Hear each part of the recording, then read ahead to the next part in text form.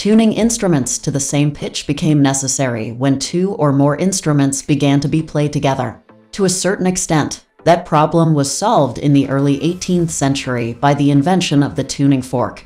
However, while it was a step in the right direction, it wasn't the complete answer. Bach, Mozart, Beethoven, and all the other composers all used tuning forks to tune up their orchestras. But still, they were usually tuned from a different pitch from each other. Their pitch was determined by whose tuning fork they happened to be using at the time. They were not standard, and they were different from each other. A lack of standardization. It was clear that there needed to be a standard way of tuning that everyone could use. One standard was set in the 18th century when A4 or above middle C on the piano became the positional measurement of the tuning standard.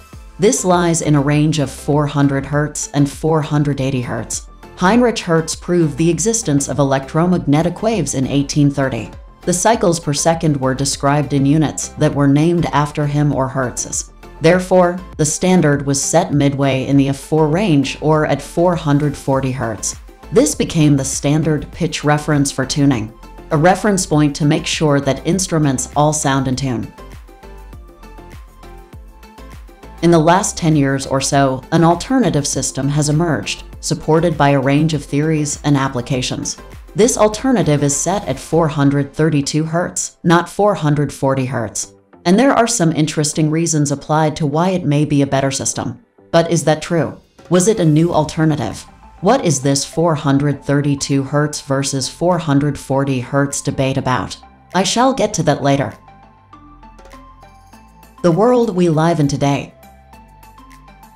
Unfortunately, the world we live in is plagued by false information.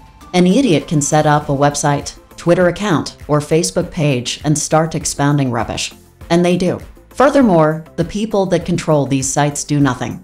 It costs money, and we can't have that. They aren't rich enough, are they? People who either have the authority or try to claim to have it get away with indiscretion. They get caught doing something they shouldn't, and the cry goes up, oh, it's fake news. Poor me, I am innocent. Most of the time, they are guilty, as history has shown. Nevertheless, it's put on the internet, and some people believe it.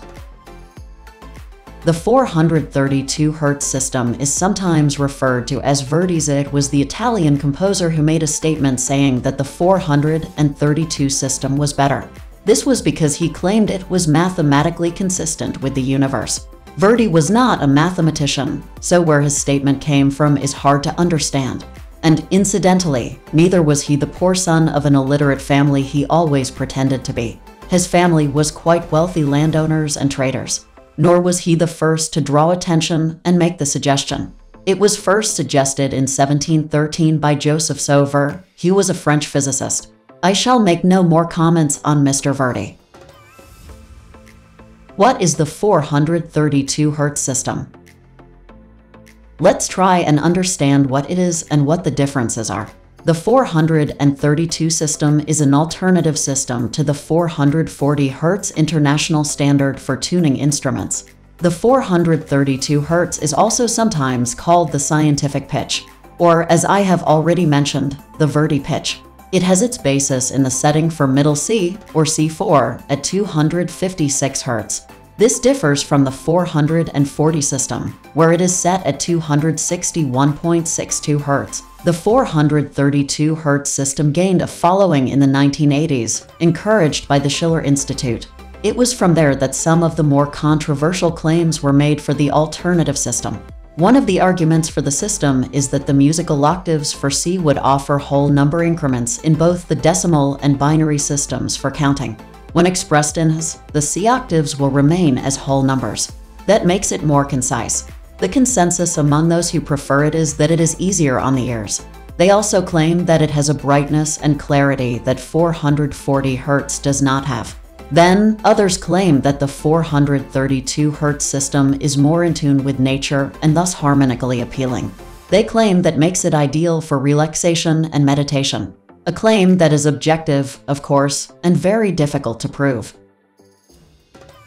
As you might expect, and if you have good pitch, then it does sound a little lower than 440 Hz. But is there a noticeable difference?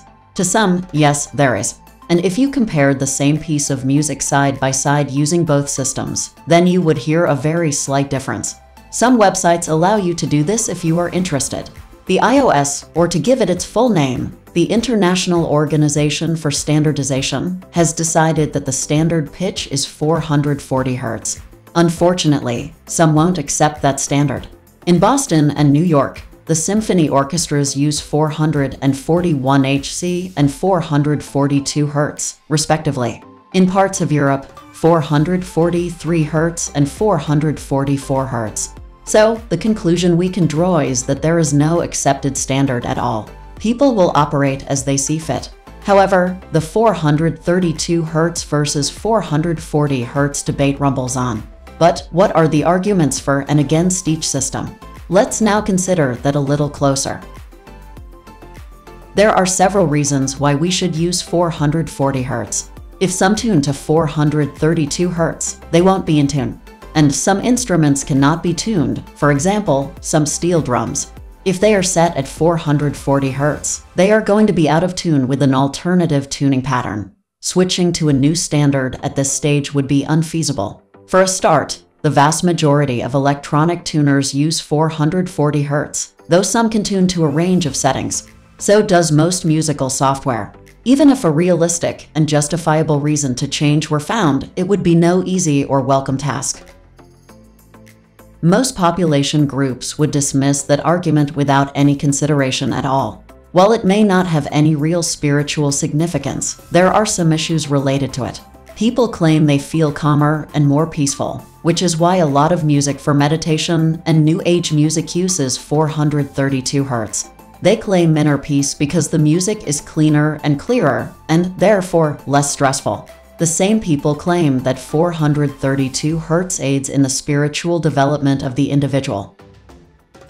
What is my opinion on 432 Hz versus 440 Hz? If you are someone who prefers the sound of 432 Hz, that is fine for you. But it is not helpful or persuasive to others to publish or reproduce false and misleading information. And like it or not, that is what happens. If you are going to start quoting information, make sure it is reliable and comes from a trusted and approved source, not from some keyboard warrior. You might prefer it, but that is not a justifiable reason to spread misinformation about unproven benefits. And other people's opinions are not proven benefits. They are what they say they are, opinions.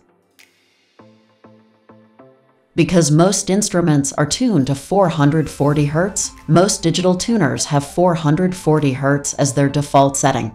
However, there are plenty of tuners that offer both options. I have included some examples at the end of the article.